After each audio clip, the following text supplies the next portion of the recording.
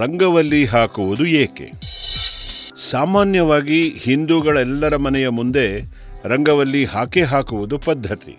ರಂಗವಲ್ಲಿಯನ್ನ ಲಕ್ಷ್ಮಿ ಅಂತಲೂ ಕರೆಯುತ್ತಾರೆ. ಈ ರಂಗವಲ್ಲಿಯ ಕ್ರಮ ಯಾವಾಗ ಹುಟ್ಟಿತು ಅಂತ ನಿಖರವಾಗಿ ಹೇಳಲು ಸಾಧ್ಯವಿಲ್ಲ. ಆದರೆ ದಿನನಿತ್ಯದ ಕೆಲಸ ಪ್ರಾರಂಭ ಆಗೋದೇ ಮನೆ ಬಾಗಿಲಿಗೆ ರಂಗವಲ್ಲಿ ಹಾಕಿದ ಮೇಲೆ ಮನೆಯ ಸದಸ್ಯರು ಹೊರಗೆ ಹೋಗುವುದು ಮನೆ ಬಾಗಿಲಿಗೆ ರಂಗವಲ್ಲಿ ಹಾಕಿದ ಮೇಲೆಯೇ ದೇವರ ಪೂಜೆ ಮಾಡಬೇಕು ಎಂದರೆ ದೇವರ ಮುಂದೆಯೂ ರಂಗವಲ್ಲಿ ಇರಬೇಕು. ಶುಭ ಸಮಾರಂಭ ನಡೆಯಬೇಕು ಎಂದರೆ ಅಲ್ಲಿ ರಂಗವಲ್ಲಿ ಹಾಕಿರಲೇಬೇಕು. ಇದು ನಮ್ಮ ಸಂಪ್ರದಾಯ.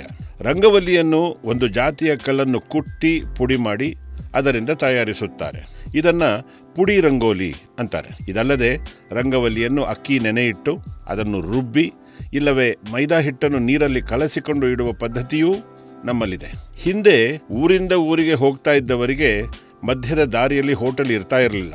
ಆಗ ಜನ ದಾರಿಯಲ್ಲಿ ಸಿಕ್ಕ ಹಳ್ಳಿಗಳಲ್ಲೇ ತಮ್ಮ ಹೊಟ್ಟೆಪಾಡನ್ನು ನೋಡಿಕೊಳ್ಳಬೇಕಾಗುತ್ತಿತ್ತು.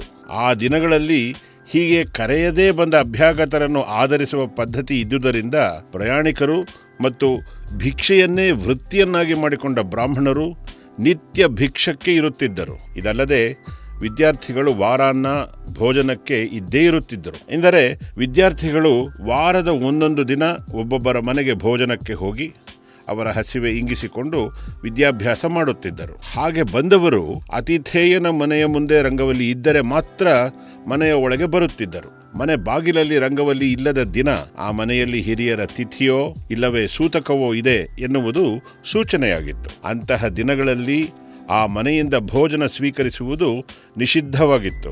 ಇದಕ್ಕೆ ಕಾರಣ ಒಂದು ವೇಳೆ ಅದು ಸಾವಿನ ಮನೆಯಾಗಿದ್ದರೆ ಆ ಮನೆಯಲ್ಲಿ ಇನ್ನೂ ವೈರಸ್ ಇರುವ ಸಂಭವ ಇರುತ್ತಿತ್ತು. ಅದು ಒಬ್ಬರಿಂದ ಮತ್ತೊಬ್ಬರಿಗೆ ಹರಡಬಾರದು ಎಂಬ ಕಾರಣಕ್ಕಾಗಿ ನಿಶ್ಚಿತ ಅವಧಿ ಕಳೆಯುವವರೆಗೆ ಆ ಮನೆಯ ಜೊತೆ ಸಂಪರ್ಕವನ್ನು ಯಾರೂ ಹೊಂದುವಂತೆ ಇರಲಿಲ್ಲ.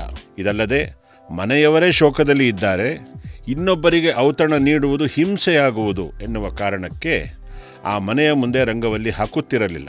ರಂಗವಲ್ಲಿ ಇಲ್ಲದ ಮನೆಗೆ ಯಾರೂ ಬೇಡಲು ಹೋಗುತ್ತಿರಲಿಲ್ಲ. ಇನ್ನು ಶ್ರಾದ್ದ ಇದ್ದ ಮನೆಗಳಲ್ಲಿ ಆ ದಿನ ದೇವರ ಪೂಜೆ ನಿಷಿದ್ಧವಾಗಿ, ಆ ದಿನ ಕೇವಲ ಪಿತೃಕಾರ್ಯ ಮಾತ್ರ ನಡೆಯುತ್ತಲಿತ್ತು. ದೇವರ ಆರಾಧನೆ, ನೈವೇದ್ಯ ಮಾಡಿಲ್ಲದ ಮನೆಯ ಆಹಾರವನ್ನು ಸಾತ್ವಿಕರು ಸ್ವೀಕಾರ ಮಾಡುತ್ತಿರಲಿಲ್ಲ. ಈ ಎಲ್ಲ ಮುಖ್ಯ ಕಾರಣಗಳಿಂದ ಮನೆಯ ಮುಂದೆ ಹಾಕಿರುವ ರಂಗವಲ್ಲಿ ಪ್ರಮುಖ ಸಂಕೇತ ಆಗಿರುತ್ತಿತ್ತು. ಮನೆಯ ಶುಭ ಸಂತೋಷದ ಪ್ರತೀಕವಾಗಿದೆ. ಅಲ್ಲದೆ, ಅಂಗಳದಲ್ಲಿ ಗೋಮಯದಿಂದ ಸಾರಿಸಿ ರಂಗವಲ್ಲಿಯನ್ನು ಹಾಕಿದರೆ ಅದು ನೋಡಲು ಬಹು ಸುಂದರವಾಗಿಯೂ ಕಾಣುತ್ತದೆ. ಹಬ್ಬ ಹರಿದಿನಗಳಲ್ಲಿ ಮತ್ತು ವಿಶೇಷ ಸಮಾರಂಭಗಳಲ್ಲಿ ದೊಡ್ಡ ರಂಗೋಲಿ ಹಾಕಿ ಅತಿಥಿಗಳಿಗೆ ಸ್ವಾಗತಿಸುವ ಕ್ರಮವೂ ರೂಢಿಯಲ್ಲಿದೆ.